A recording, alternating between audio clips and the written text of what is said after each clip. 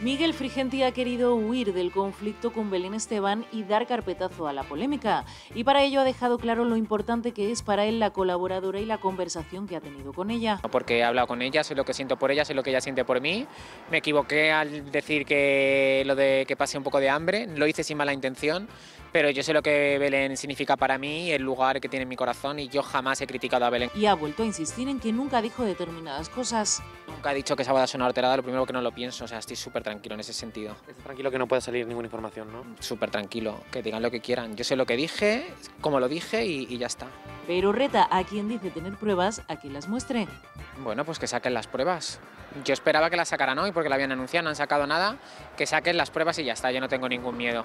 Mientras tanto, la de San Blas está feliz con el triunfo de su último producto gastronómico y sigue ajena a esta polémica, por lo que no ha querido ni referirse al tema.